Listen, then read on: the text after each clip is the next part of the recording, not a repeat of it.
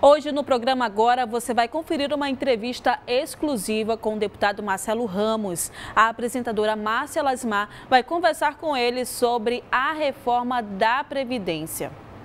Você vai poder tirar. Esse é um momento decisivo da reforma da Previdência. O presidente da Comissão Especial da Previdência, o deputado federal Marcelo Ramos, ao mencionar o fim dos debates que já deve acontecer, acabou reacendendo economicamente o Brasil, mas também reacendeu as polêmicas que giram ao redor da reforma da Previdência. Para esclarecer esses assuntos, esclarecer todas as dúvidas que os brasileiros ainda têm, nós convidamos o deputado federal Marcelo Ramos para uma conversa.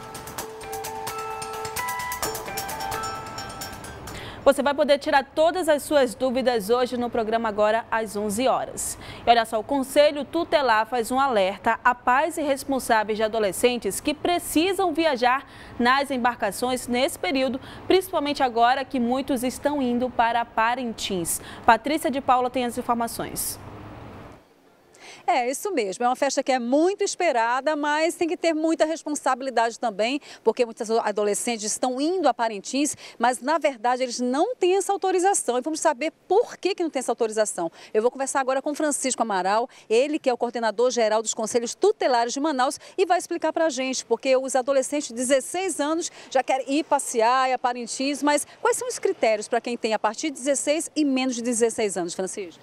Bom, antigamente os adolescentes a partir de 12 anos poderiam viajar tranquilamente sem autorização dos seus pais. Agora, com a alteração do Estatuto da Criança e Adolescente, os adolescentes abaixo de 16 anos não poderão viajar sem a devida autorização e a sua documentação.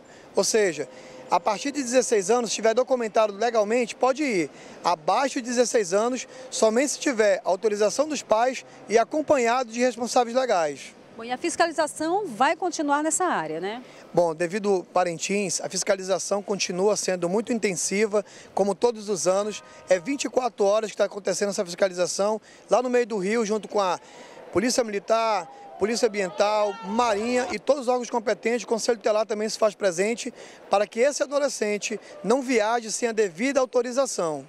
E muitas vezes podem até escondido dos próprios pais, né? E acontece muito. Nós temos barrado adolescentes que estão sem documentação, não vai viajar, que fique bem claro. Adolescente que tentar viajar sem devida documentação e autorização, não irá seguir viagem para Parintins. Então, mais uma vez, só para reforçar, o adolescente que está pensando em viajar pode, no meio do rio, com a fiscalização, retornar para Manaus e acabar esse passeio. Então, bom mesmo é sair, mas com responsabilidade. Convido algumas pessoas que possam sair, possam se divertir nesse festival que é tão bonito, conhecido durante todo, por todo mundo, mas de uma forma legal. Essas são as dicas aí do Conselho Tutelar. Volto com vocês aí no estúdio.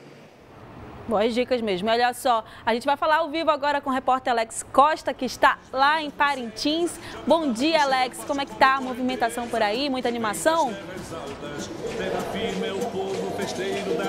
Oi, Gabriela. Bom dia para você. Bom dia a todos ligados aqui na nossa programação. Olha, que calor aqui em Parintins. Estou em frente à Igreja de Nossa Senhora do Carmo, uma catedral imponente aqui no centro de Parintins, onde a movimentação já é bastante intensa. Aqui a organização do Turistódromo, que é um espaço reservado para receber os turistas, as pessoas que não conhecem a cidade, que precisam saber a programação detalhada. Aqui a coisa é muito organizada. Está tão movimentado que o comércio está bombando e estamos quase na hora do almoço. As pessoas já começam a vir para essa região para almoçar e é lógico que a movimentação tende a ser intensa.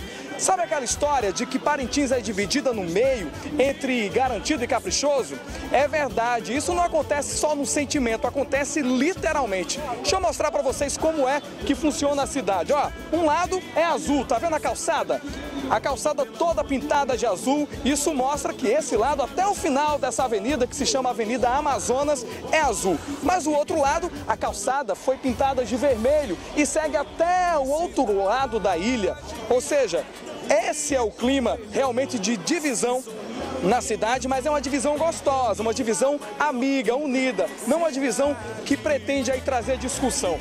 Gabriela, nós daqui a pouquinho vamos trazer uma matéria exclusiva, um material que nós preparamos durante todo esse percurso, né, da manhã e também da noite de ontem, do São João do Garantido.